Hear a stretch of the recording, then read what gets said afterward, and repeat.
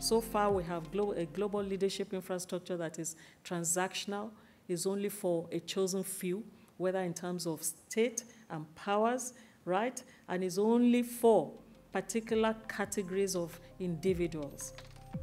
That's not sustainable.